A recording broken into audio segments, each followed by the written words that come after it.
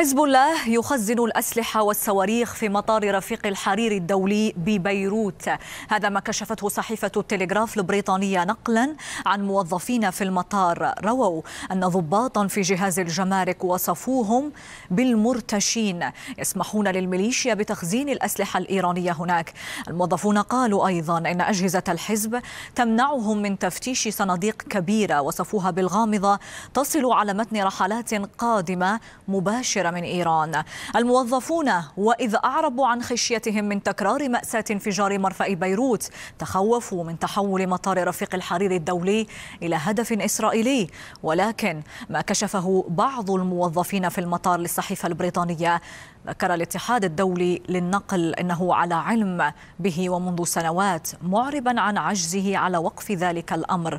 وطالب الاتحاد ودائما وفق صحيفة التلغراف باتخاذ إجراءات قانونية دولية لوقف تخزين الأسلحة وبإغلاق المطار وإزالة جميع الأسلحة والمتفجرات.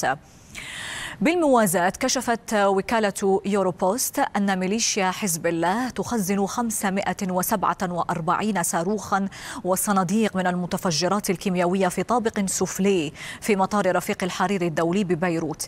كما كشفت الوكالة أن طائرة تابعة للخطوط الجوية الإيرانية هبطت ليلة السبت الأحد في المطار وعلى متنها صناديق أسلحة تابعة لميليشيا حزب الله.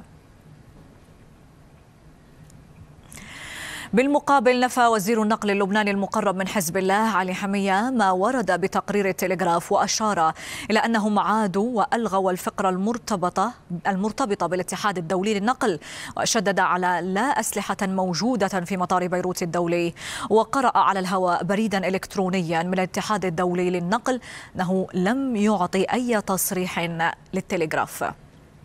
قمنا بالإتصال بالاستاذ كامل اللي هو نائب رئيس الاتحاد النقل الجوي للشرق الأوسط وأفريقيا. كامل العوض الأستاذ كامل العوض. وتحدثت معه شخصيا. وسالته يعني هذا الموضوع منسوب للاتحاد النقل الجوي. أخبرني بالشكل التالي. معالي الوزير هذا الخبر عار عن الصحة. ونحن ما أعطينا أي بيان أو رسالة أو تحدثنا مع التلغراف ونحن ننفي نفيا قاطعا ما ورد في مقال التلغراف. البيان الأول بالتلغراف بيقول عن الإياتا لكون الإياتا اتحاد النقل الجوي هو أساسي بالمنطقة. بيقول البيان الأول اللي صدر أول مرة A security source at the International Air Transport Association IATA يعني نسب كل ما ورد في المقال إلى الإياتا بعد مراجعة الإياتا للتلغراف هلا إذا بتفتحوه قدامكم هلا ما عاد في كلمة إياتا نحن في طور إعداد دعوة دعوة قضائية تجاه التلغراف دعوة قضائية تجاه التلغراف لأنه البيان الذي صدر عن التلغراف هو بيان عم بيشوه سمعة مطار رفيق الحرير الدولي بيروت. دون أي مستند قانوني دون أي حقيقة مواربة للحقيقة. اللي بيشكك بالجمارك اللبنانية وبالجيش وجهاز أمن المطار والأمن العام اللبناني خلص ما بش في بلد. بالتالي المرجع الأساس للسؤال والجواب هي الأجهزة الأمنية العاملة في مطار رفيق الحرير الدولي بيروت حول صحة ما تنقلته تلك وسائل الإعلام.